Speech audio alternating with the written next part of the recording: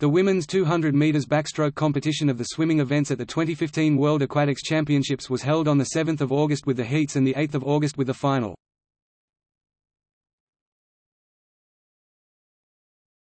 Topic: Records. Prior to the competition, the existing world and championship records were as follows.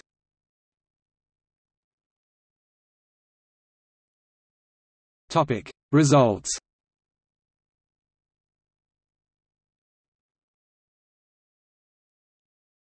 Topic: Heats. The heats were held on the 7th of August at 10:30. Topic: Semi-finals. The semi-finals were held at 1749. Topic: Semi-final 1.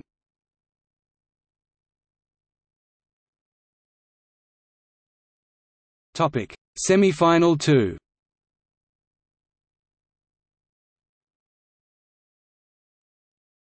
Topic: Final. The final was held on 8 August at 1747.